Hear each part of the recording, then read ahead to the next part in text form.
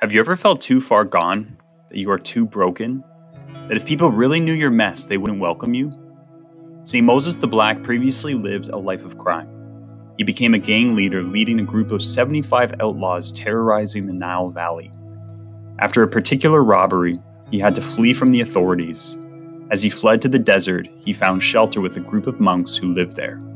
He was fascinated by the way they lived. They were dedicated to God and constantly praying. As he fell in love with the beauty of the gospel, he begged them to stay. He repented from his old way of life, was baptized, and entered the monastic community. But St. Moses had a lot of bad habits that he needed to overcome. He battled his own temper, sin, and temptations for years.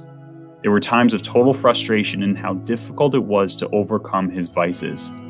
But every time he fell down, he would get back up and keep walking. One morning, when St. Moses the Black felt so frustrated with his brokenness, St. Isidore, the abbot of the community, took Brother Moses to the roof, and together they watched the dawn of the sunrise come over the horizon. Isidore said to Moses, Only slowly do the rays of the sun drive away the night and usher in a new day, and thus, only slowly does one become a perfect contemplative. It makes me think of how gold is purified. The goldsmith must patiently hold the gold over the hottest part of his fire.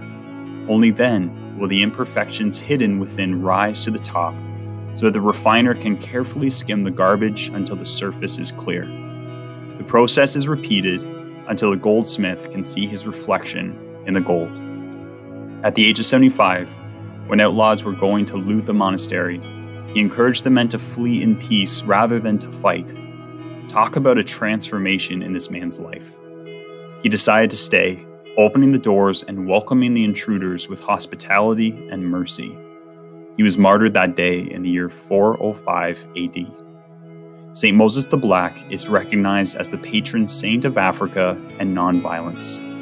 God took all of his tests and turned it into a beautiful testimony. God wants to do the same for you. It starts with saying yes. Let us pray. In the name of the Father, and of the Son, and of the Holy Spirit. Amen. Lord, I thank you that you are not afraid of our imperfections. I thank you that you see us as your little children learning to walk. When we fall, give us the grace to get back up and keep walking. I thank you that, as Oscar Wilde said, every saint has a past and every sinner has a future.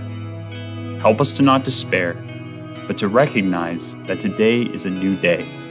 With your grace, I decide to start again. Amen. In the name of the Father, and of the Son, and of the Holy Spirit. Amen.